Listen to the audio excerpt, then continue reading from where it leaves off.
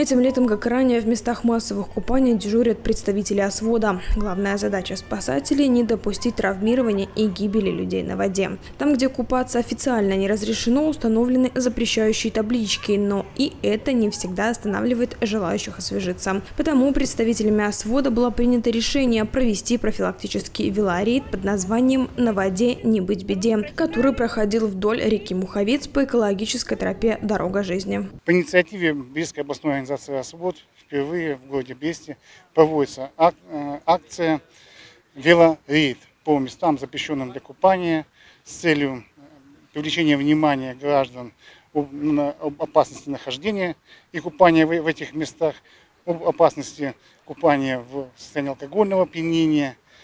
На территории э, города Бреста у нас 5 разрешенных мест, где разрешено купаться и находится посты либо станции освод. Но в то же время очень много мест, где наши граждане любят отдохнуть у реки. К сожалению, вот 9 утонувших э, при купании в текущем году они все утонули в запрещенных местах. В ходе общения с отдыхающими гражданами в неположенных местах для купания сотрудники освода совместно с представителями молодежного движения старались через анализ и статистику гибели людей на водоемах донести людям, что только позаботившись о своей безопасности и выбрав правильное место для отдыха, можно его не только провести комфортно, но и безопасно. Мы это ведем практику, чтобы можно было на, так сказать, на велосипеде проехать большее расстояние, чем можно пройти пешком. Потому что чем больше мы проехали, тем больше мы людей встретили в процессе, тем больше мы предупредили, тем больше мы донесли именно правил поведения на воде.